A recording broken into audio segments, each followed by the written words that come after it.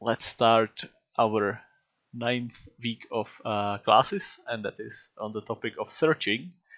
And uh, yeah, uh, I chose that topic because it, it somehow fits into a lot of the uh, educational background that you would get as computer scientists, and, and quite often you have some data structure or some data somewhere, and you are sort of searching for some uh, values in it and maybe some like searching for closest path or something in some like map structure. Or even if it's not a map you can ju just sort of like look at a lot of data somewhere and then search through that just to get the one value.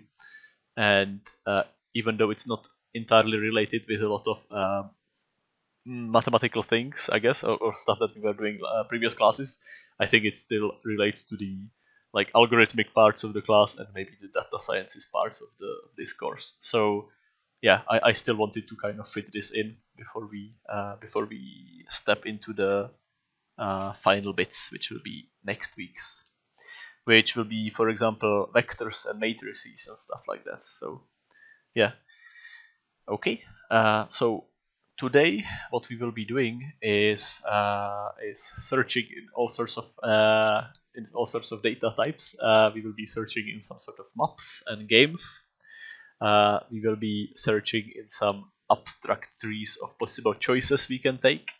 Uh, and then there will be a little bit of like bonus uh, information on uh, on how some of the uh, super specialized fast algorithms work. So something as A star, because you will see that it's a little bit slow in some senses, in some sense, and so to have it all run in global scale really fast and really on huge maps so something like Google Maps, for example, you have to have some smart algorithms there. So this will be one that I will be talking about a little bit. Okay. So uh, searching for path. Well, what does this practically mean? Uh, uh, so there are these are sort of like few examples that we can see uh, that we probably know already. Uh, some of them. So this is some uh, searching on maps you can imagine that uh, behind this there is some sort of like a, a abstracted representation of all the streets in the world on one sort of graph. And on that graph you are moving from like one node to another node jumping the things. And so if you look at these connections you, you do get these like uh, nodes some things like instructions here saying you okay take uh, from here to here take this thing this this road this this high road and maybe that's a bit which already takes an hour or something. Well this is silly because i'm planning from czech to, to uk but anyway like you, you can imagine it from uh, in a in a map of streets inside a city. And uh, then uh, the different streets would be the sort of edges of that graph and the crossroads would be sort of points inside inside that graph. And so you are uh, you are finding a path on a map but in reality somewhere in the computer land you are also just searching like a, a shortest path on a graph. So this is all which would be happening here. Another case would be or another example would be uh, sort of path finding in games so ai in games. So uh, so for example if you are doing some ai or something for these uh, for these uh, ghosts in pac-man or, or whatever other game as well right you kind of want uh, them to at every step sort of figure out uh, what their pathing will be, and uh, it depends on the the on how complicated the AI is. But like at some moment, you just want it to go from here, uh, from its position to you, and so it has to sort of figure out which is the best road to take, or the shortest one. And so this is something that you can uh, sort of check for one by one uh, mm, one enemy by one target sort of or you can uh, do something like this when uh, in some more advanced games when you have like a bunch of tanks on a map and they need to get through like one small path road somewhere. I don't know. I don't even know which game I'm talking about. But in some cases, you sort of need to plan for uh, not just one agent moving, uh, the agent being Ghost, uh, but a bunch of agents. Uh, and for example, like the the the computer uh, NPCs of some tanks or something. If if you tell them, hey, all of you move here, uh, and they have to uh, find the path through uh, some like through some bottleneck. In some older games, they're going one by one, and it's terrible. But in some new newer games, you would see that they are sort of like moving, maybe finding a way how to fit two and then sort sort of like figuring out, out that as well. And so uh, these like on on on the side of the games we sort of see what these differences would be, but somewhere behind this there is some differences that this would make for the algorithms that are used if you are planning just for like one agent or if you are planning for uh, multiple agents that need to coordinate with each other. And uh, I think I even had a course called like, or there was like a research field of multiple agent planning or something. And yeah, that becomes useful. Basically, it's just these same things but scaled up into much larger areas. And the task that they have to do is, is much more complicated as well and the the the agents there become like drones that you are trying to I don't know uh, program that they are uh, reporting on some like I don't know some uh, piece of important infrastructure or something, right? And so uh, what we will even talk about today will be relatively simple, all of that, uh, but uh, there is a lot of like applications that this can be useful. Well, and so the last bit that we are getting into uh, is this uh, decision tree uh, visualization. So this is uh, the comic, basically. It's talking about the problem with, with Wikipedia. You start on the article of Tacoma narrow bridges, and then you are sort of going from there, clicking on links, and you get to all the way from like 24 hour analog dial, dial into wet t-shirt contest.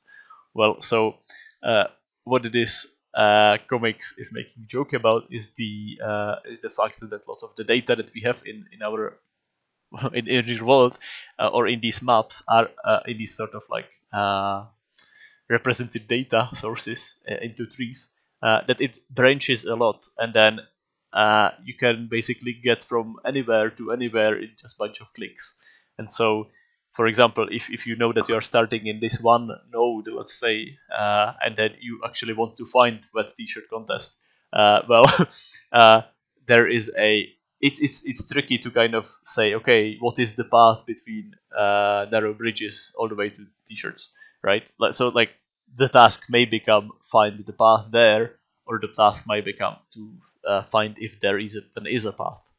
And so uh, this is a joke with Wikipedia, but uh, you can imagine that this tree is, for example, uh, us playing chess against the computer, or two, two AIs are playing chess against each other, and these uh, different sort of children for this node, so so the the the nodes under this one are the possible moves that the AI can take. So this would be like I don't know pawn on uh, b6 pawn on b7 etc etc so there is a lot of branching there.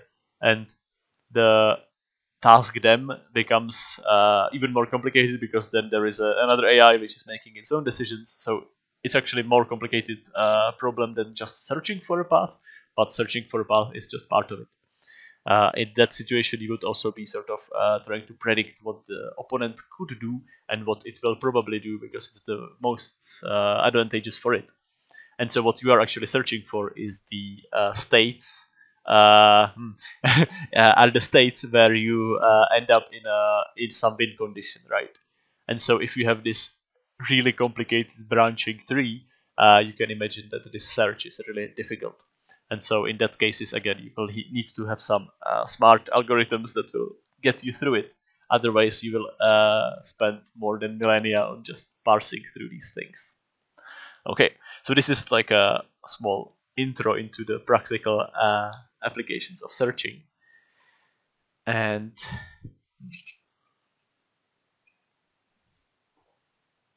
Mm -hmm. So let's illustrate a little bit what are the possible questions that we want might want to ask.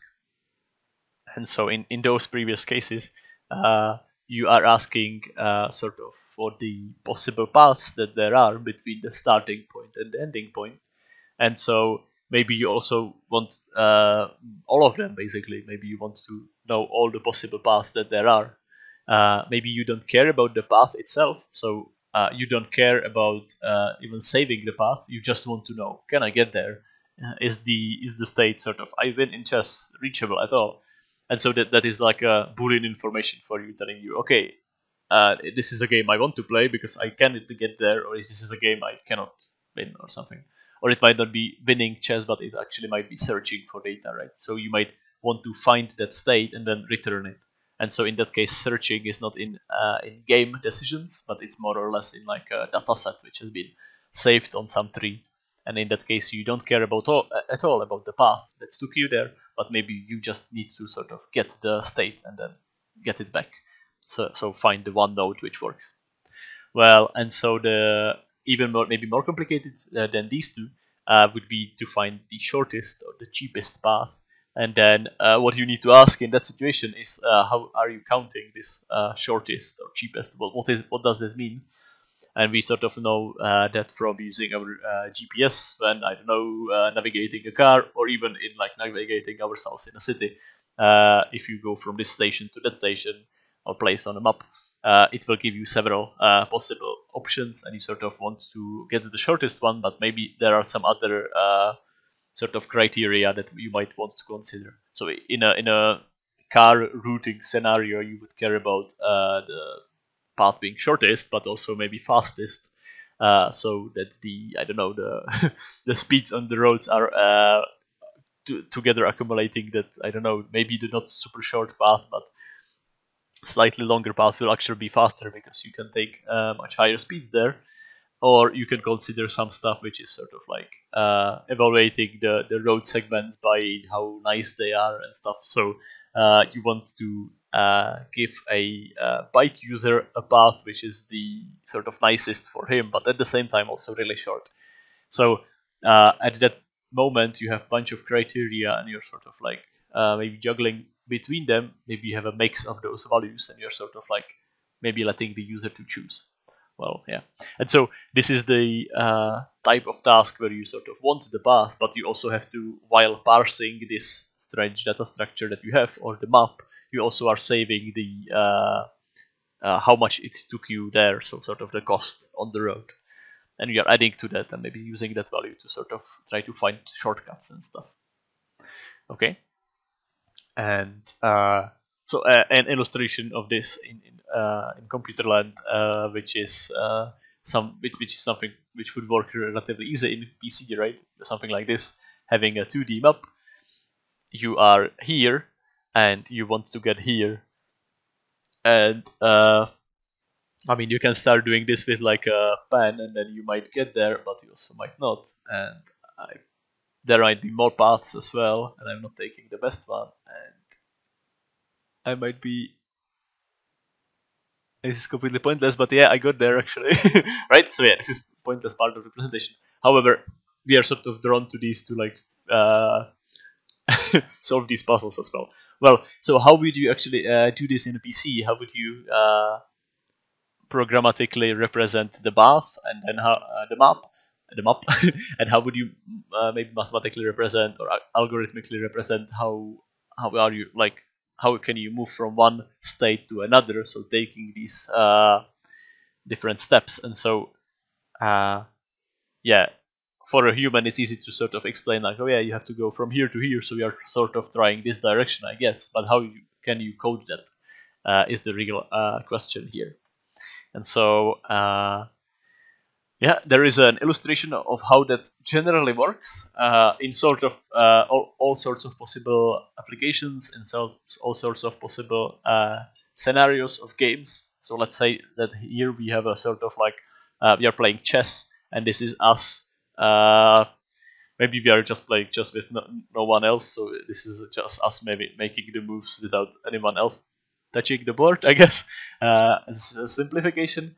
But uh, let's say that this is the decision tree that we are sort of going through and we want to find something. Or we are actually on a map so something that we saw on the previous slide.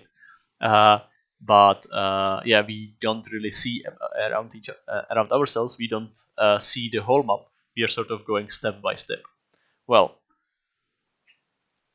so in any of these cases, it all starts uh, on being in like one current space. Basically, we are always in just like one space uh, that we are testing right now.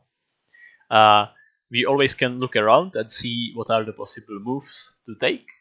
Uh, well, so basically, programmatically, we have this saved as like an maybe a dictionary. And so if I ask, hey, what are the next possible moves for uh, for to go from start, and it will return to me like, okay, these are the three possible moves. Or in this case, I would have to maybe code it as a small function and then check always the nearby uh, maps parts and then say, hey, this this brown width, maybe this is a wall, so I cannot really go there. So there are three options to go here.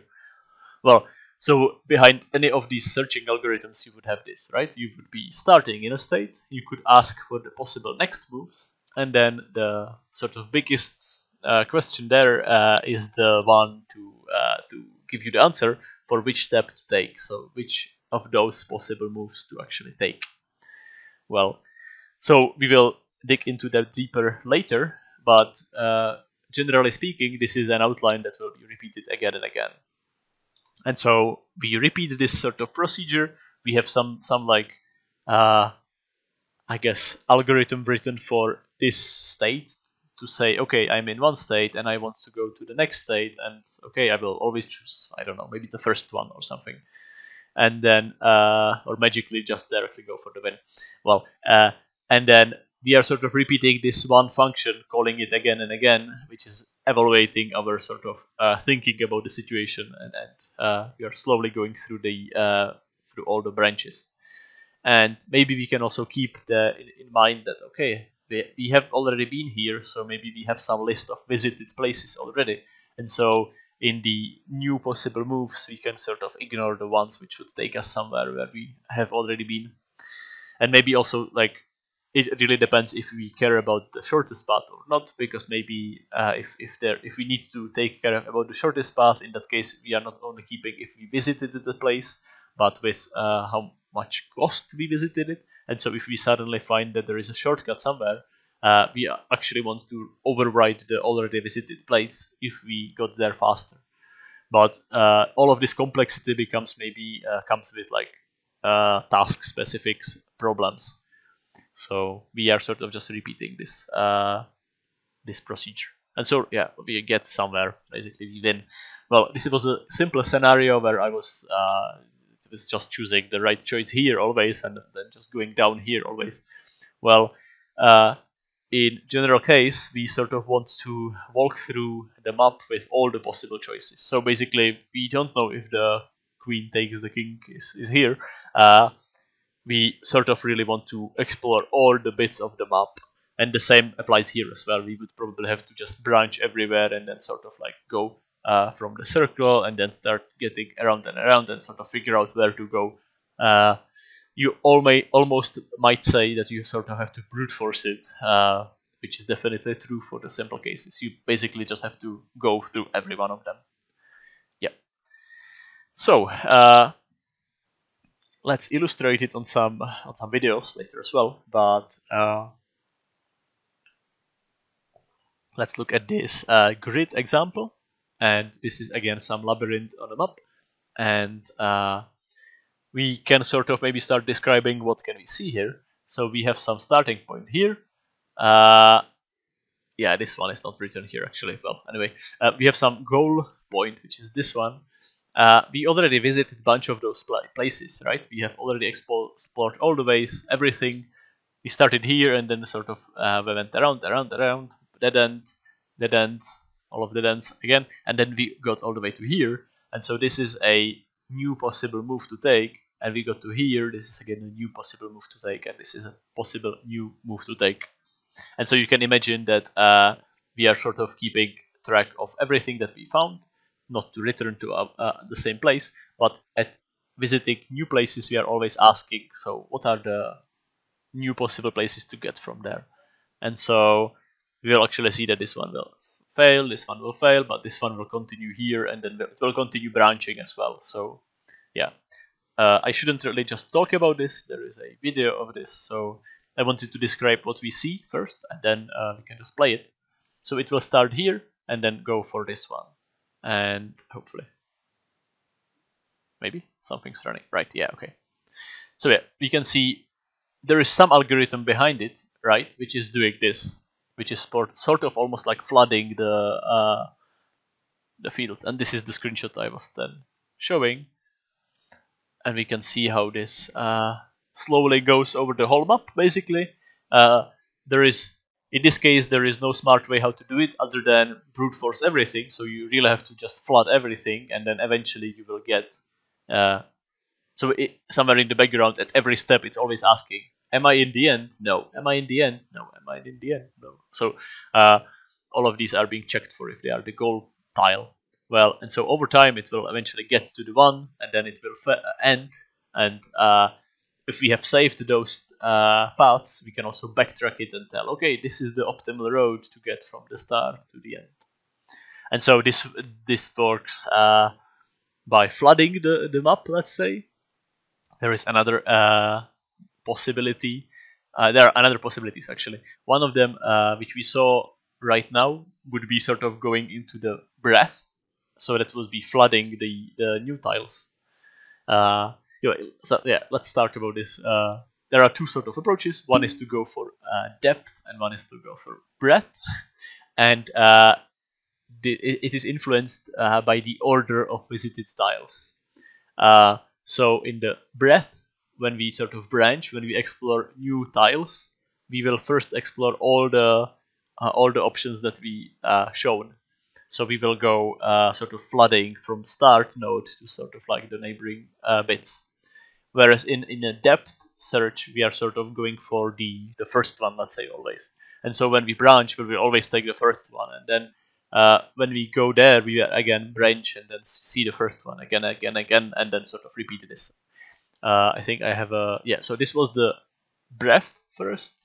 Uh, if I will play it again, maybe some nice location like here, we are always flooding sort of the, uh, so always sort of like figuring out the the next possible moves from the start uh, and then if there are two possibilities which have the same uh, distances from the start we are always checking all of them at once right right at least it looks like we are doing it at once i think we are basically going one by one so first this one then this one then this one then this one then this one then this one then this one somewhere behind in the algorithm they might have sped it up in the for the animation i think well so this was the breadth first uh, whereas the depth first, uh, this is a broken video, but it's just because it was converted. I think it will. No, let's see. Okay, so this should work. Okay, so we have started somewhere, uh, and we are sort of taking just one road. So we uh, we are all, always exploring new bits of the map, but we uh, don't really check all of them at once, we are always going for the first sort of like, you know, always third left basically. Yeah, so this is just an illustration. Wow, okay. Nice! Oh my god, awesome. okay, breadth first. Clear let's, let's make a maze. Nice, okay, so let's thank you for the link, this is amazing. uh, let's first search the or use the breadth first. So this should be sort of going wider, wider, wider, and then eventually we hope that it will actually find a solution. and this might take some time. And then oh yeah, it find it found it. Uh, if we clear the path and then try best oh best first. Oh, they don't have a uh, depth first in this situation. Right, because now we are searching for the shortest path. Uh, so if I were to search for the uh, depth first, it would just go here, and then it would go here, and it would go here, and it would just like sort of go for the next uh, first bit as well. So maybe the uh, best, uh, the depth first search is actually used maybe more for uh, iterating through the data rather than rather than searching from a map like this. Let's illustrate it here on this uh, on this tree. Uh, so this is a tree. Uh, tree is defined as a uh, structure where we have some initial node, and every node has its children. These are called, and uh, when uh, the tree might have so, like as many branching uh, it can have as many children as possible. So the, this is the number of children sort of rep, uh, represents the branching of it. So uh, if we uh, this is branching with strength of three, let's say, so it has three children, uh, and the so, some of the nodes actually don't have any uh, following trees, or following children, and these are called leaves. Well, so there is some terminology, but we will be not we will not really be using that much uh, this terminology. So we will just be talking about nodes and children. So I guess in this situation, our task is relatively simple. Uh, we have this data structure of a tree, and we want to uh, iterate through all of it, and then eventually probably also get this node as like to find it and then return it. But we don't really uh, care about this path being the shortest one, uh, which in this tree also it doesn't really make sense because uh, the only path that you can get there is the shortest one because there is no cycles. If we had a connection from here to here and here to here or here to here basically if we had some shortcuts in it it would no longer be a tree it would become a, uh, a graph with nodes which are connected uh, so basically uh, what differentiates them is that the tree uh, doesn't have any cycles any sort of uh, ways how you could get from here back to itself uh, while taking other paths so that would be a cycle uh, and so graph is something which is just everything connected with everything if you want, or there are some holes with connections as well. And so trees are generally more easier for searching into, uh, searching through. Well, and so what we can imagine behind this is maybe a structure where each of these is sort of maybe Right, yeah, maybe each of these nodes was a document that someone was editing, and then uh, they sent it to their mates, and they started editing it again, and then uh, maybe saved it into two versions, and then started editing this one, and then saved it into two versions again. And so maybe what uh, this represents is maybe we are we want to sort of find in all of this, did they actually get to, I don't know, maybe this is an empty document or something. Did they get frustrated and deleted the whole document? So we want to find the one which is like this. so uh, the task here is to somehow parse through this. So somehow go through it. And so on this relatively simple uh, demo, we will show the differences between the depth first searching and bre breadth first searching, and then uh, see what is the difference there. Okay.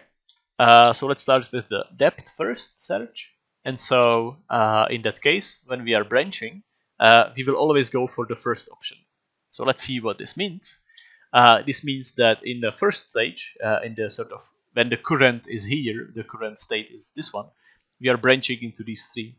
And so in that one, we will always go for the first discovered node, the newest one basically yeah it, it doesn't necessarily mean the first option from all the possibilities but it means that uh, from all the new ones we are always exploring the newest mo most one uh, first.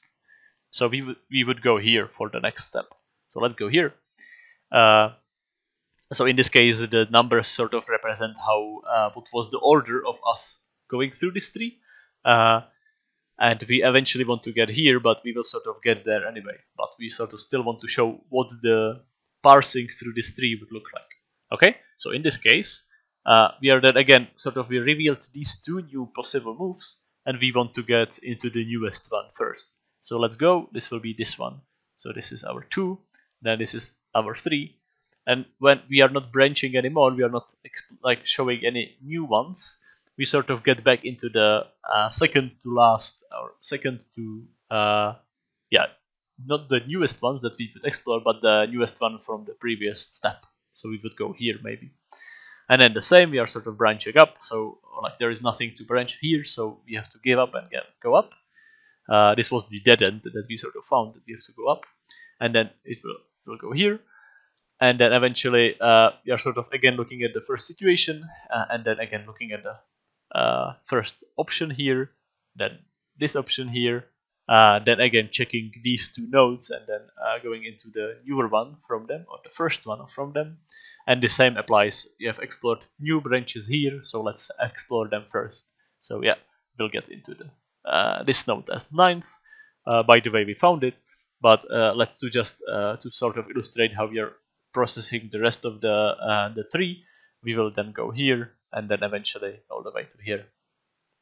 So this was the depth first searching and so if I will run it really fast, uh, I am going sort of really.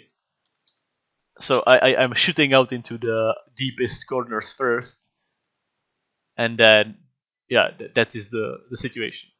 Whereas the second version will be breadth first, and you will see that we will be exploring in a little bit different way. And so let's see it here. Uh, the uh, the sort of decision-making process is that when we branch into three more options, we will always explore the, the ones we have uh, revealed before, before going into some, something new. And so in this case, we have explored, uh, I mean, we have revealed these three, but we have nothing uh, from previous uh, stages, so we will just explore these three. So yeah, let's go one. We have now uh, explored the, I mean, discovered these new steps, but we will always uh, explore the ones we revealed before first. So what this means actually in this graph is going here and then going here, uh, in, at which moment we are discovering these two new nodes. Well, so we don't have anything in the two sort of layers here. We will go into these, and then we will start here, and then basically all, all the way fill these. And so, uh, yeah, at this moment, we all already have discovered, actually, like, at this moment, we have discovered this uh, as a new possible moves, but in the priority list or something, we are sort of attaching these uh, with lower priority than these, because these ones are sort of the ones that we saw before. So this is the way how the uh, breadth first goes. Rather than focusing on the new ones, you focus on the older revealed nodes. So let's continue with them. Then we go to the ones that we explored later. And then basically, yeah, hooray, we found it. And just to illustrate the end, we would get here. And so uh, for me to, again, run this fast, basically, we are not going depth first, which was going first here, then here, then here, then here, then here, then here, then here. We are sort of going layer by layer. So first here, then here, then here, and then all the way here. And so if I run it fast, first layer first, second layer first, uh, yeah, second, and third layer third as well. So this is the difference between the two algorithms. Okay. So uh, the difference between these two ways of processing data. Uh, so we will see how uh, it can actually influence the speed of searching for something. But in most scenarios, I think uh, it doesn't really matter which one you take. Uh, it depends on the on what you want to achieve. So when you saw that we are searching for the shortest route, uh, the first scenario when uh, we would be going depth first, we could just get endlessly lost in the labyrinth and never finding it.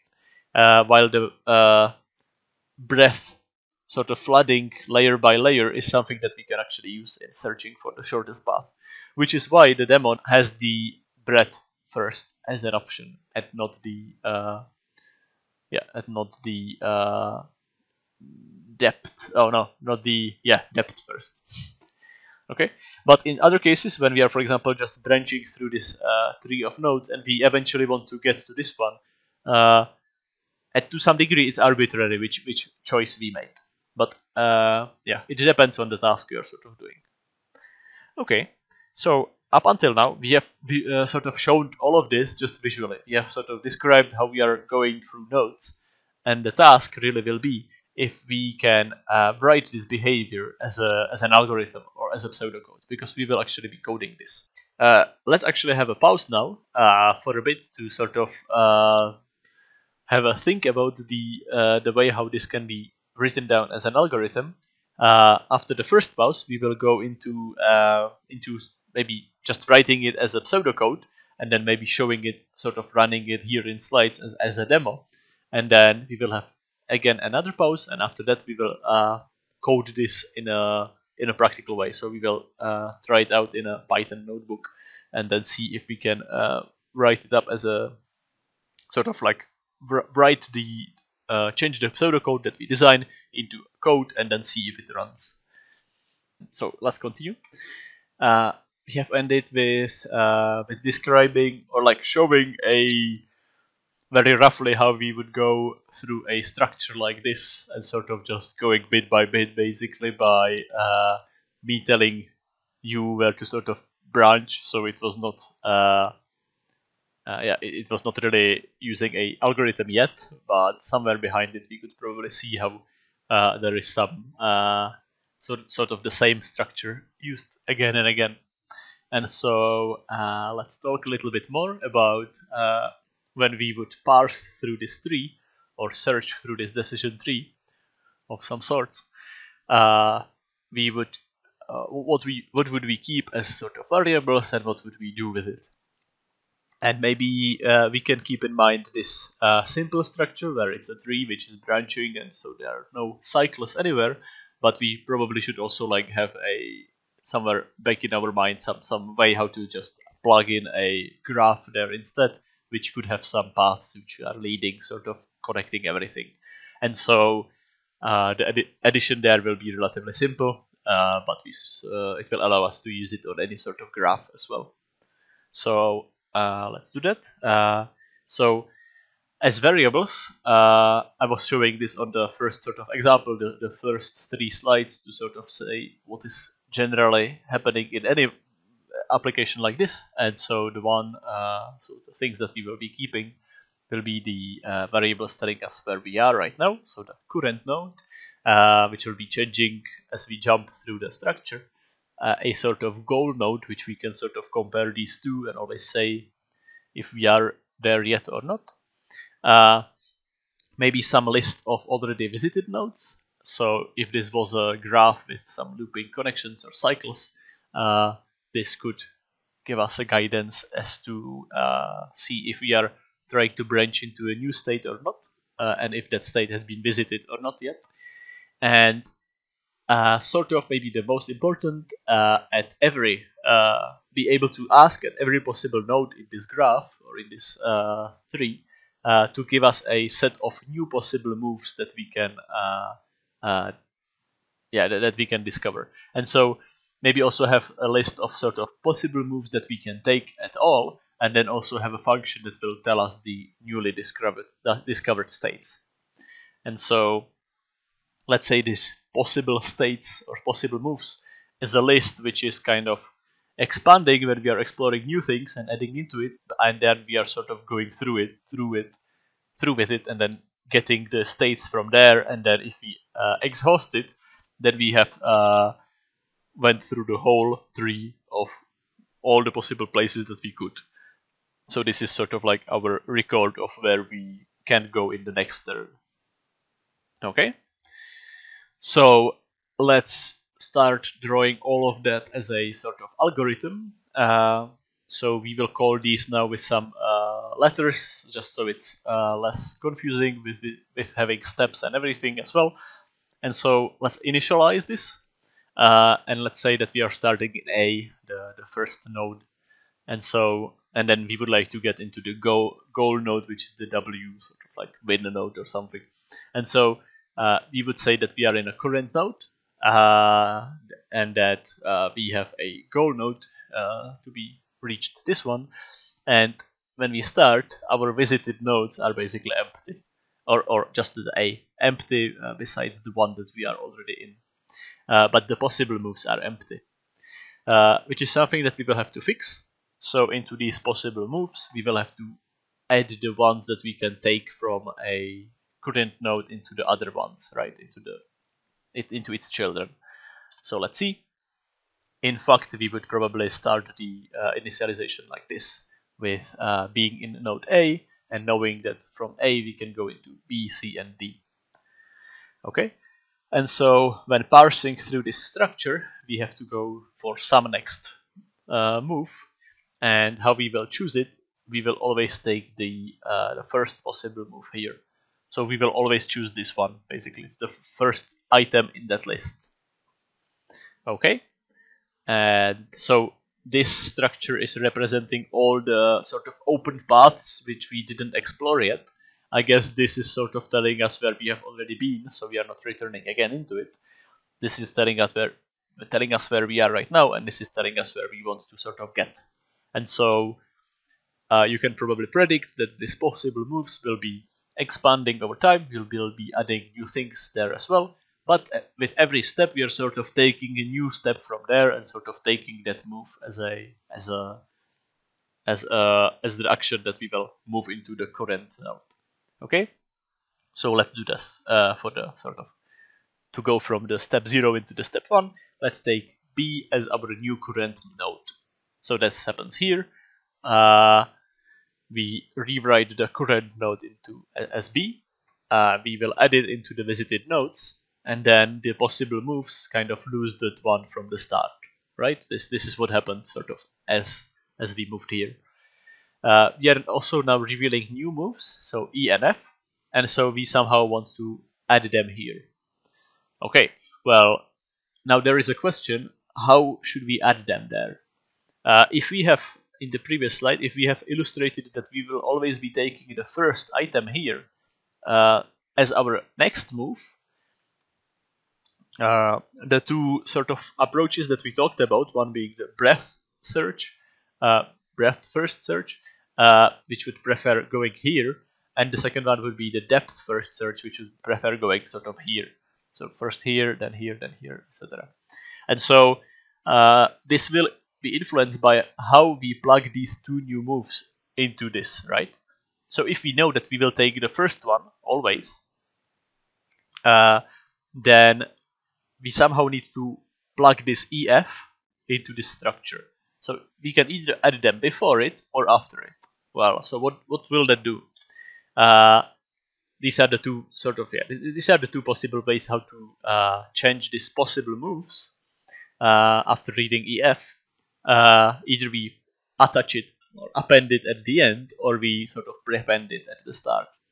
Well, so what would these mean for our next move? So for our step number two move.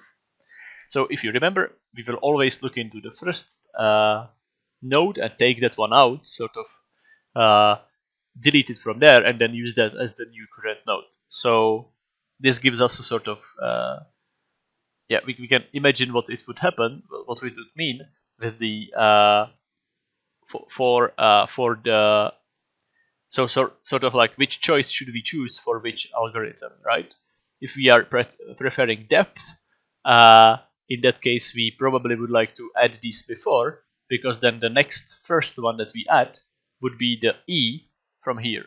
Whereas if we prefer the breadth, it, it should be this one because we sort of want to first process the ones that we already had in that structure. So let's see it. This is the version 1 where if we add it behind, uh, we keep the, the C uh, state as the, the next state uh, node that we would explore. And so that would be here, and it would sort of correspond to the uh, breadth first approach because if we are exploring like if we reveal any new nodes here we would add them at the end again and then we would still go to D and then continue with E, F, whatever we revealed here, whatever we revealed here, etc. So sort of like uh, appending it behind this structure, we would be going for the breadth first search. While this is the second version where we would be uh, prepending it, so adding the newly revealed nodes EF before uh, whatever we had sort of listed as our possible moves. And in that case, our first step that we will take, the first item from this list will always be the, the newest one that we can that we explored. And so in this case, it will be E. Actually, if we would process the E steps, then we would reveal these two, and they would be appended here again at the start, and then we would be again going for the sort of next one here. And only when these are all uh, used up, we would start getting back in the structure. Here here here here all the way here. And then all the way after processing all of this we would get to the sub sub tree here which would be under D. So yeah. So you can see how a very small modification of the code if you prepend or uh, the uh, the new states will sort of change the whole behavior of the algorithm. Yeah they are really similar these two approaches as well so it's not like a huge deal for the algorithm but it will change how it uh, parses through these nodes right? So I think in the yes I, I think I used the version 2 so I chose to show the depth first algorithm and so that one went for the uh, for the node E that became our new current node uh, we have added it into the visited nodes list and then we revealed two new lists, uh, two, two new moves, which we immediately add into the possible moves as a uh, on its start. So we maintain the same strategy over the whole run basically, and that in that case, uh, this was the step step and the second step, uh, the next step will get the z as our current node. So let's do this here, and uh, it will not add it, will not add anything new because there are no uh, children to the z node. Or uh, in the terminology of, of, of uh, trees, we could say that this is a leaf, which is not adding any new uh, children nodes for, for the structure. So we know that we have sort of reached a dead end, let's say. Uh, okay, and so in that case, we are sort of returning in the structure above and above. And what this means is uh, processing the uh, possible moves from the previous rounds, sort of. And so the next one will be W, which is here. And at that moment, we can uh, check that the current node equals the goal node, and then uh, that we can stop. I mean, we can stop in a situation where we don't want to process everything in that node. So this would, for example, mean that uh, we found this one node and then we want to return it and, and then process uh, something with it. Or maybe, uh, at most, maybe we would like to know this path that we took, but we would have to save something else for this to be uh, possible. But this was sort of like animated uh, approach of using the algorithm that I was showing before, sort of step by step. Uh, so let's do the final abstraction step, let's say, and that will be to rewrite it into a pseudocode. So if this was our initial version uh, of the of the data structure, let's say, this is our map basically, uh, then we have some current nodes. Basically, this is the step, uh, or this is the state of this whole thing from step zero, where we are in uh, node A. We uh, just have been to the node A, and we are adding, uh, or like the, the, possible moves that we can take are BCD. Well, so if this is our, if these are our variables somewhere at the start, then we can imagine this being the pseudocode of our, our sort of the way how we are processing this, right? So while we can make a move, uh, we will repeat something again and again, right? So while we can make a move probably means uh, while we have something in the possible moves list, uh, let's take the first node from here. So let's take the B and let's make it the new current node. So basically, let's move from A to B. So uh, the first node from uh, possible move moves uh, becomes the current state. Okay, we can make that change. Uh, then check if the current equals the goal. So let's check if this, if we are basically in the end, and if so, we could sort of like break this whole iteration, this looping, and then get somewhere back, and then maybe print out a final message saying, "Hey, we, we won," or we could, yeah, basically. And what we still want to do is then to add the current node, so the now revealed B, into the visited nodes. So we should plug this one in here, basically, uh, so that we know that in later stages we are uh, not revealing it again and again. Okay?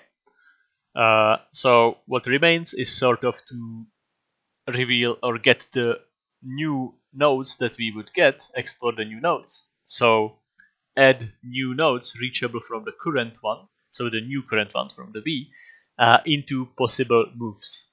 And so uh, this would be the, I forgot what I call them, maybe ENF, uh, this would be the ENF, and then this this ENF would be editing this possible move structure that we have here. And so depending on the uh, on the strategy that we choose, we either prepend it here or we append it to the back. Okay, so one small thing to add is that at this moment we could also be checking if the newly added node for all of them basically if they are not already in the visited nodes list because if so we can sort of skip them in our in this case. Uh, in this case, it will never happen actually, but if uh, if we just want to find it, we can also skip them because we know that we have already processed them. Well, and so when this happens, is basically uh, we can just jump back and then repeat this thing again and again. And in that case, this should probably carry us through the whole algorithm and then bring us from all the way from A all the way to the uh, V, which was here. And so at that moment, uh, we will sort of add some items into the possible move, moves list and end this loop uh, while we can move, make a new move basically, uh, because this would basically mean while there are some items in the possible moves list, we can just change the first one again into the current node, uh, then leave the rest there and then repeat this again and again, right? So I think, yeah, so I think this actually is everything that we would need for a uh, for for a to, to, parse a tree and then find the data structure that we are looking for in there. This would not be enough probably for the uh, shortest path algorithm. So for shortest path, you would also have to sort of uh, save the the amount of steps it took you to get to some node. So we will not get into that with today's coding, but as an illustration, I have these two videos, which are uh, which I will later actually show on the new website. Well, this is the breadth first search, which is like more or less. I think there is some other naming for this as well. This might be Dijkstra's algorithm, which is there is some small difference by uh, how much time it will take. Uh, and the approach there is to always branch around, right? So we are uh, this coloration means that we are uh, saving the number of uh, the cost that it took us, and, and the larger the cost is, I think, uh, we are always trying out the, the cost which is uh, smallest one, and so in that case we are sort of basically branching a bit by bit. So in this moment we will always try the, the new node from these possible nodes which has the lowest cost. And so that the behavior which this has then is that we will always try basically everything in the circle around the starting node first and then this will change when we get into this sort of corner because uh, we are trying these out at the same moment as these. And then possibly I think this is moment where just one uh, of these paths will sort of grow I think. Okay. So this is not the uh, not the best approach in our situation because we maybe have some more intuition about these two positions than we thought. And uh, maybe just looking at this empty board uh, the intuition that you can get is that as a, as a human you would just say oh yeah of course like go from here to here. Well start by this direction ignore this direction entirely. Maybe you would have to go here but, or, or here which is something that you might not be able to tell uh, by just looking one step by step. Well so what the A star algorithm is doing is somehow incorporating this uh, intuition that we have of uh, and the intuition is hey take this direction first uh, and it adds it into this uh, into the values that are being saved into these uh, tiles. So the sort of cost that we save which will influence the uh, the priority in which we explore the new nodes will now be sort of included here. So as you can see here, we are sort of first taking the steps which are directly uh, moving in the direction of the of the goal, and basically it will almost like go straight for it.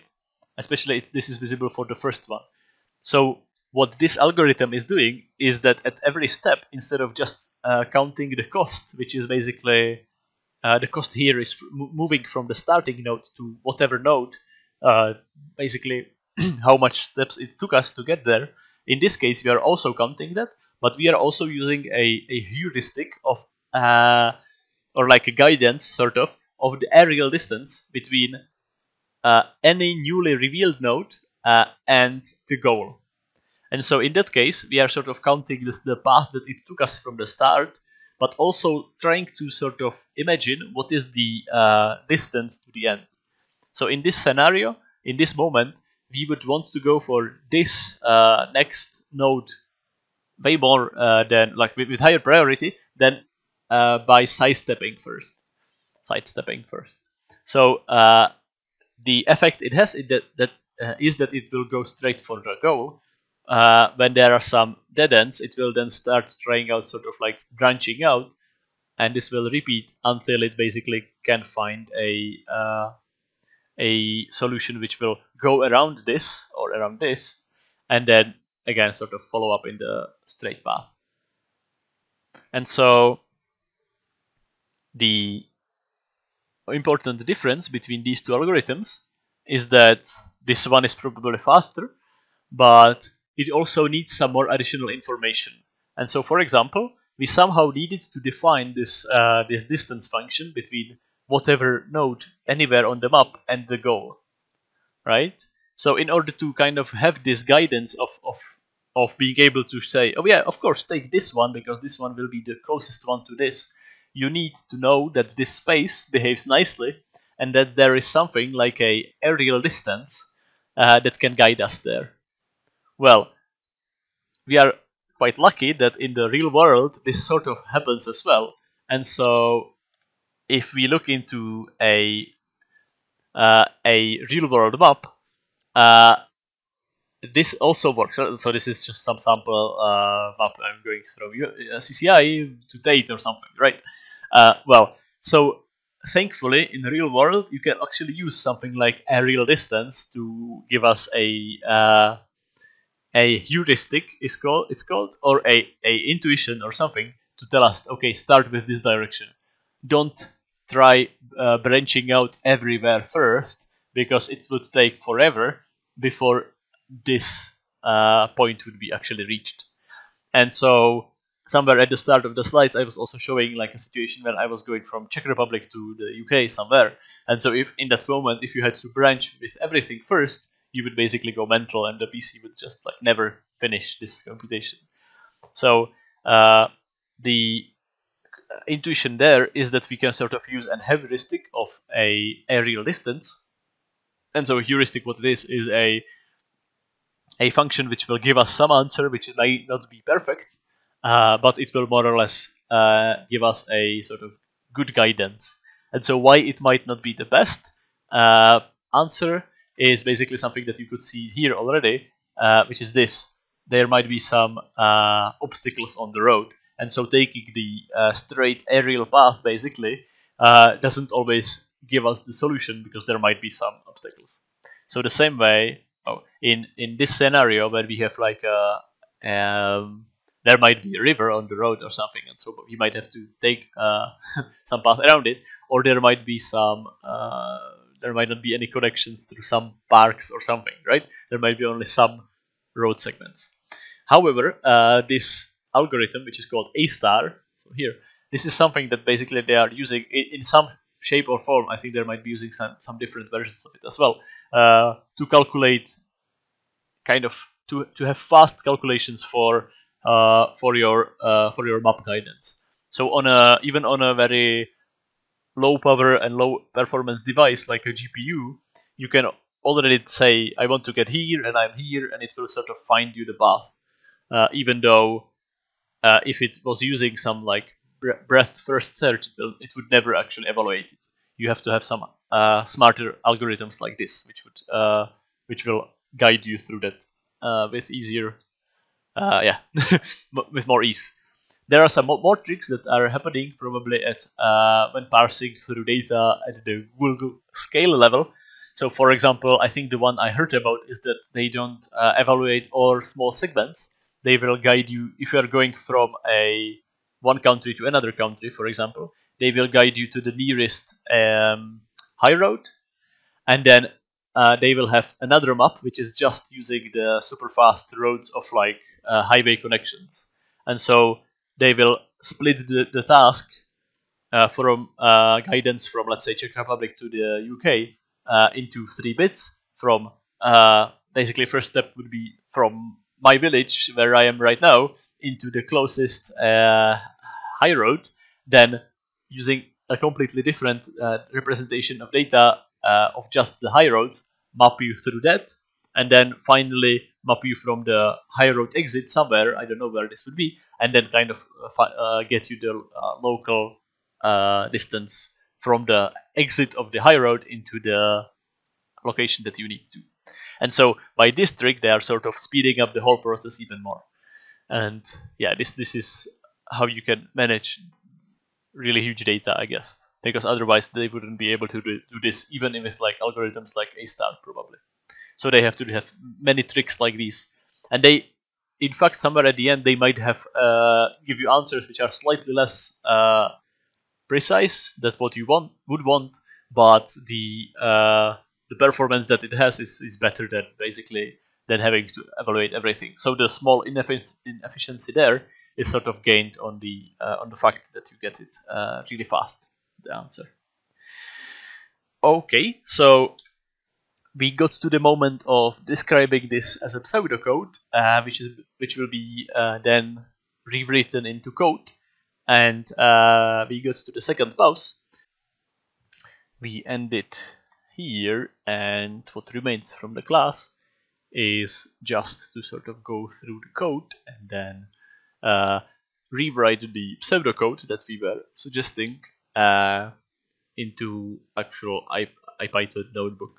So you can either use the link here or you can go to our Git page. So, uh, yeah, basically, uh, what we will be doing today uh, in the programming is just sort of applying what we talked about in the practical session. So, I mean, in the theoretical session. So basically, just uh, rewriting uh, this parsing through a decision tree into a into a code. And to start with that, uh, we need to sort of represent the, the map or the data that we have. So uh, this is a tree, but we could also have a map of some sort, like a grid world. Uh, but right now it's a tree. And as I was sort of saying before, we can have a dictionary which has all of these encoded.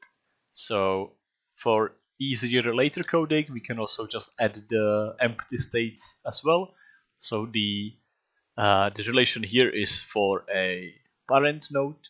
For A, you will get a list of all its children nodes. So if we create it and then uh, print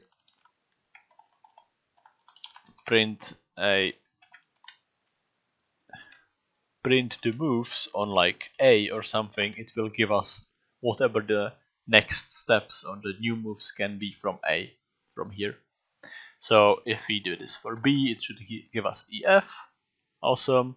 If we do this for, uh, let's say, Z, it should give us nothing really because there are no new moves.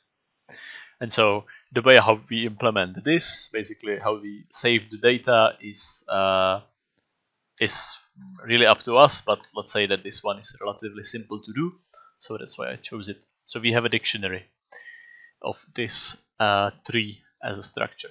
Okay, and if you remember us setting up some starting variables, uh, we do have the same here. So the current node, the, the goal node, uh, we even use the same uh, names for them.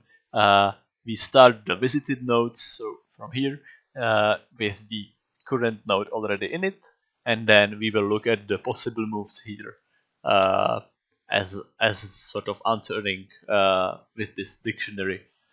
And so if we run it, these are the first nodes, and if we run this, this is a sort of debug printout which will tell us, okay, we are in the current step, and we can take these steps. And so we are in A, and we can take B, C, or D, and the next one we are going to take is the first one in the list. So the pseudocode that we uh, we had from the slides was basically this, and we can now sort of rewrite that from the pseudocode into actual code. So as a spoiler alert, there is a solution here that you can uh, look up. Uh, you can check it now or as well, or you can look it up later. Uh, yeah, the, the task is uh, for us to sort of write it here as well right now. So the algorithm is really just uh, stepping through the tree that we have saved and uh, we would like to visit every node in the graph and detect if we have find, found the, the final one, so the uh, goal node. Uh, it is up to us if we use the depth first or the breadth first search. And uh, in this scenario, we don't really care about finding the shortest path or even saving the path, but uh, I will add like a I think I will add it even in the code to save the path as like a bonus option. Uh, but for you, there will be also a question if we want to add like a um, uh, some way of keeping up the record of how uh, what is the shortest path. What would we have to add to this algorithm that we are writing right now? And so if everyone was more or less uh, clear with what we are writing here, this is this code rewritten in, in very similar form. So while we can move and then continue with this, I will actually copy these three here. So so we have them some somehow sort of uh, we have them on the same screen. We, we don't have to scroll up and down. And let's say that this uh, debug will also be something that we will be printing again and again. So let's make this bigger. If we run it, nothing happens right now. Well, so let's start uh, writing down this code and then basically change it into a running code which we can use. So while we can move, basically we will say while uh, while there are any possible moves left, so why the len of the possible moves uh, is bigger than zero, which means while we have something in possible moves, basically go and step through this again and again. Uh, let's then load the current as the first node from the possible moves. So let's say that current is uh, possible moves 0 and uh, by taking it out let's also say that possible moves is uh, the same but from the uh, sort of like chop out the first one because we have given it to the uh, current here so we are taking out the first one and then uh, saving the rest as the new possible moves and so if we would print it here, we are basically going uh, step by step from all the possible moves uh, through the list. So, so yeah, let's actually run it here, and what will happen is that we will end up with a uh, with an error, but uh, we will say we are in B and we can take these steps. We will take C. Uh, we are in C and we can take these steps. D. Uh, we will go into D and we can take these steps, nothing. And because, uh, yeah, this should end with us, um, yeah, yeah, possible moves zero. So this is, uh, if there are no possible moves, this debug basically makes no sense. So if I don't write it, it will not have an error. Because now it's just stepping through everything. Okay? Or I can also say if, basically I, I can copy this this check here uh, to just print it when we have something. Oh yeah, if uh, yeah to print this message, next one will be something. Uh, I can print it only if we actually have a next one. Okay, uh, so kind of to to keep track into uh, where we are, uh, I can also start counting the step. Um, I guess print step uh, s as the step i and then add one to it. Yeah, this is just sort of still it's a debug length, I guess, and maybe somewhere here at the end we can just yeah we will then later sort of separate it from the text so we can read through the output better. But let's carry on with the pseudocode. Uh, so right now we are just always getting the first node from the possible moves. So we are sort of parsing through what we loaded it with at the start and just not adding anything new and we are sort of going one, one, one, one, sort of going through all of them. Well, what we need to do is uh, follow up the pseudocode. So we would have to check if the current uh, is the goal one, right? I think I, I wrote it like this. and so if they are the same, I basically want to break this cycle. Uh, I want to stop going through. And so if this happens, somewhere after, I will just say handle uh, the final state.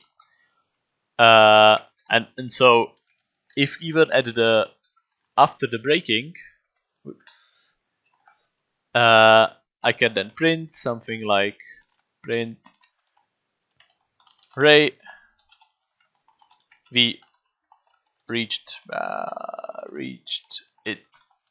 So yeah, so basically, if we break it and then we are in the current uh, in the goal state already, we can just print that we have reached it. So this would be getting this part of the of the pseudocode. So, uh, so sort of for record keeping, we would like to also add the uh, current node into the visited nodes list. So we have it something like this. So let's just append it at the end. The order there doesn't really matter. So let's append the new current node into the visited list. And then let's discover new nodes uh, from the possible uh, from our current node. So let's call it like new moves, and then yeah, let's look it up. Uh, so the way how we were sort of checking the new moves from any possible state was by was by doing this. So new moves for a state A are these, new moves for J are I don't know these, and new moves for B would be these.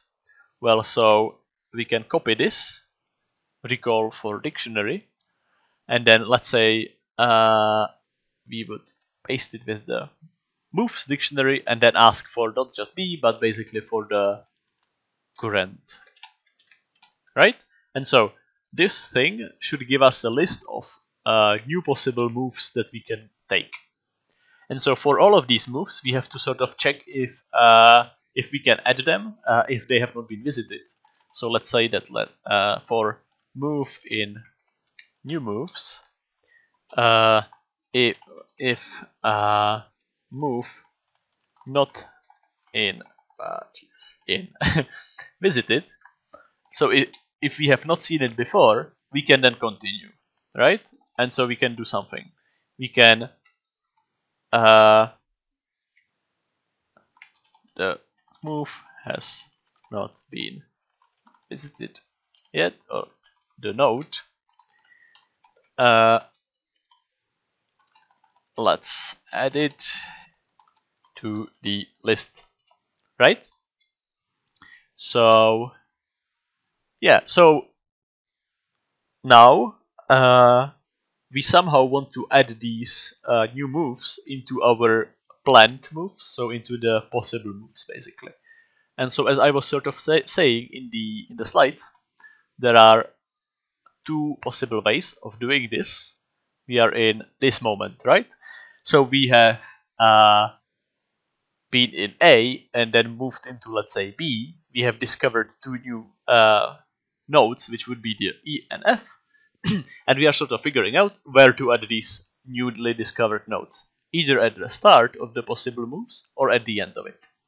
And so uh, let's say that we will start with the easier one to code, which is the uh, we will append it at the end of that uh, array. So let's say possible moves dot append uh, move. And so what is it? Let's say append it, and that means that it will be added to the end, which means that it will be the new nodes will be processed the latest. So let's say uh, uh, new nodes to be processed the latest, and this corresponds to the uh, uh, breadth first search. Uh, because we will first explore the ones we, which we already have in our possible moves. So uh, if we have these added, we will first explore the ones which we, somewhere like here, if we have these added, we will first explore uh, B, C, D before uh, going into the new ones. So I think it, it corresponds to this scenario, right? Uh, we want to sort of the one that will be loaded up next to be C, then D, and then all the ones that will be added later. Okay. So if you want to see the other version, uh, we will change it later uh, into the depth first as well. So let's see, is this our pseudocode done? Add new nodes reachable from the current one into possible moves yeah, I mean, I think this should be it.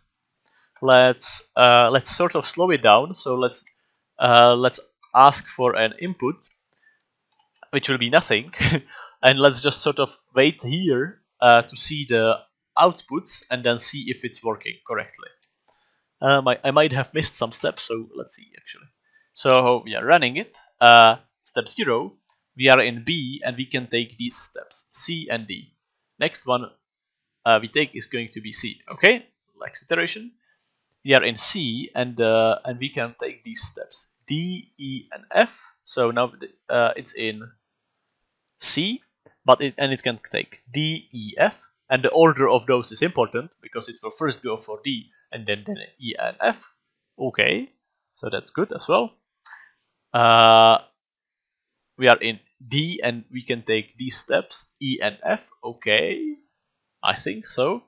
Yeah, so it, this one doesn't really print out the currently edit uh, edit uh, steps. So I think I should probably move this debug somewhere down so it's uh, printing out correctly what are the next steps. But still, it's uh, it seems to be working well because the next step is E. So we have seen A first, then B, C, D, A, which was A, B, C, D, A, A, B, C, D, E, F, etc. Probably, right? So we will go F. Uh, next one will be J. Next one will be I. F, J, I.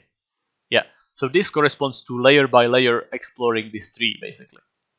So uh, yeah, let's actually let's stop it and let's get rid of stop it. let's get rid of the slowing down uh, part of the code and let's just separate the yeah let's separate the state uh, states uh, by this line and let's see what happens. So they go from uh, B, C, D, E, F, J, I, J, and then eventually it also reaches uh, W. Uh, at which point it still has some more steps to go, but it will not go there because we have reached it, and it will just say, "Hooray, we reached it." Okay. Uh, if we what what about if we ask for some nonsense goal which is not there?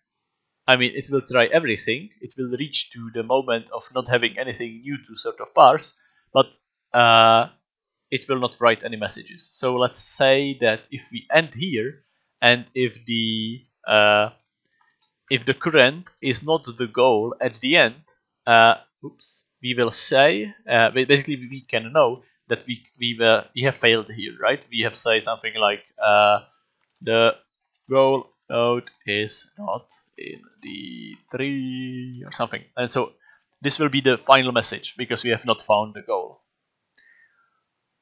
Okay, we can just for like nicer output, we can just add another enter. So we are splitting it.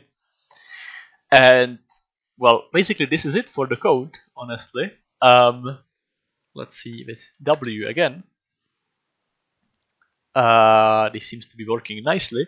Let's see uh, how to change this uh, from breadth first search uh, which we can see by, by looking at the steps that this was taking, right? B, C, D, this is the first layer first, then E, F, J, I is the second layer first, and then this is the third layer. So let's change this. Uh, okay, well, so this would be prepend it, prepending it, prepend it. so this means new nodes to be processed uh, first. Um, I am not sure if I will remember correctly how to write it. I, I looked it up a little bit, so in solution there is a version, but let's see if, if this one will also work. So let's say that we are updating possible moves with the new move and then add the possible moves. I think this might work, this might not, let's see. Uh, okay, yeah, this works. So this is us adding the new move uh, before the array. So basically we are prepending it. We are changing the array by adding the new move before it. And we are doing this move by move, so it's a little bit different to the slides, uh, but we are we are sort of not adding the whole set of new moves because we are checking them one by one, but uh, we are adding one by one in front of these. So let's see what this does. We are in B, uh, and then F and then E and then W. So let's see what is that. What what did it do? A B. Uh, it went for depth first. Uh, well, so it it, uh, it looked at the second uh, node first because we are appending them. So we appended E first, then F secondly. So this this one became the new first one. So we went here, then here, and then dug into W. And so this is more or less the depth first search. And so if we would be looking for, I don't know, L, I think the output will be much longer here, right? Because we had to, we had to go, uh, we had to step through the list like this, this, this, this, this probably, then this, I think, and then it ended. So let's see if it corresponds to that. B, F, E, W, then Z, then C, then D, then I, then J, then L finally. Okay. Yeah, I think this more or less corresponds to this. Yeah, let's change this to B still, and I have heard a question. Uh, limitation to how you can move between the nodes. Uh, what do you mean by that? Like limitation to the size of the tree or something else?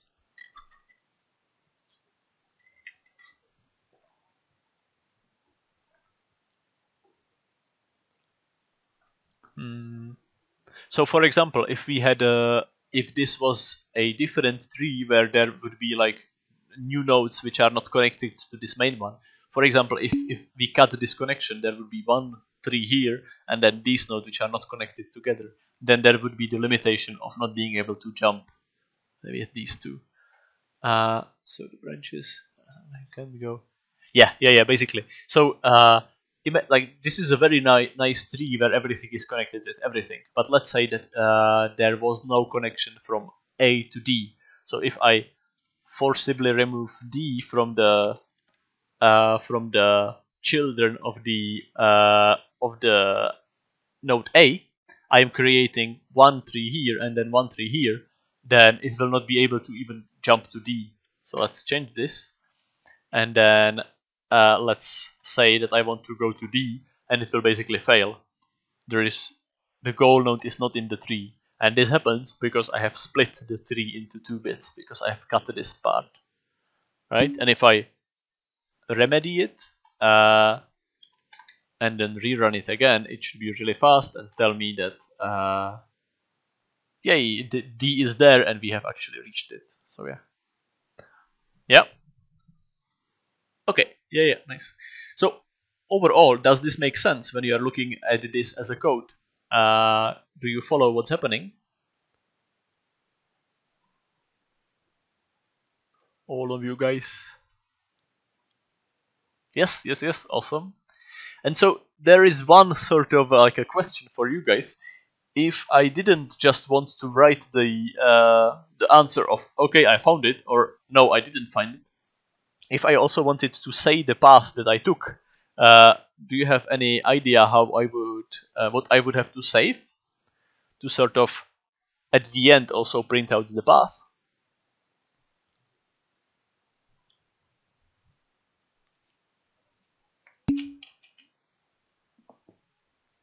Mm -hmm.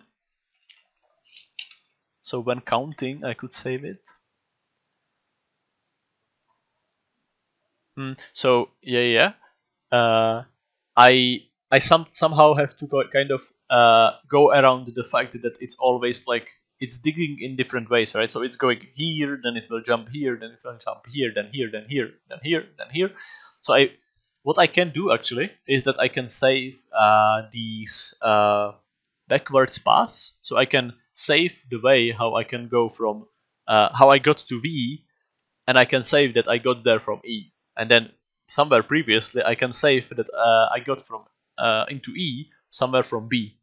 And so to do that, I will actually say create a new uh, help flow structure, which will be something like backward uh, paths, and uh, basically I can show it on the on the first bit here, and then say that uh, for all the possible moves in the first step, I can say for move in possible moves.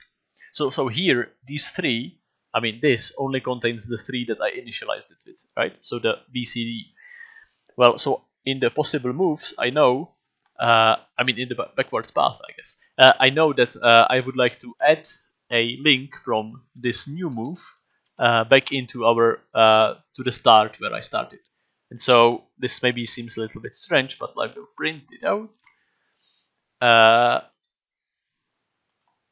possible moves are these, and then uh, backwards path are these, and then kill the processing. well, so what I will get here as messages is that from the first state, from A, I can get to B, C, D, and then I have saved that for uh, to get into B, I went from A. To get to C, I went from A. to get to D, I directly went from A again. So if we do this not only here at start, but everywhere as well, everywhere else as well, if we sort of save this uh, this relation, whenever we are adding a sort of taking a possible new node, we will also save uh, where where did we go uh, into this new node from, so into the current one. If we uh, run this, it's set on, let's say, B, let's just run all of it, and we can then print the uh, the full backwards paths Well, so here uh, we have saved all the paths that we took. So all of these sort of, uh, all of the information of going from here to here, from here to here, from here to here, from here to here. And so if we start with the one uh, where we wanted to uh, find it, so let's say if we start with the uh, goal, this one, and actually print it as well, uh, this will tell us which is the uh, the the node that we took before going into the win winning one, right? This this relation. And so if I repeat this again, uh, but instead of checking for the goal, I will actually check for the whatever this node was for the e, right? It will give me okay. I I can like I went to I want to go to to, to B, uh, I mean to, to the goal node, then how I got there was from here, then how I got to this node was from here, and how I got there from geez from from this node was uh, oh, was from here, right? And so this is the the step. I mean, I can also say that uh, back is set at goal, and that's uh, let's say uh, while while while back is not uh, starting node, let's say A, uh, then back will be will be sort of the the one step before, and we can start appending it here so say something like path. And then at every moment we will just append the uh, oops, the uh, the current back. And then at the end we can just print this path. And this should give us the uh, basically this order that I was doing here manually. This should give it us to us automatically. So E B A and so if I say that the path maybe starts with, uh, I mean, I can directly like do it once here as well. Uh, I will see that uh, I got to V from E to B from A, uh, like this, right? And so uh, I can then like go through it uh, in the other direction, or I can uh, in theory, I could prepend it here, right? So I could say path is uh, back plus path instead of uh, appending. Uh, I can prepend. Oops. And now this should actually give us the, uh, the, the other order. So this is the path uh, I took when parsing through the tree. So from A to B, from B to E, from E to B, W.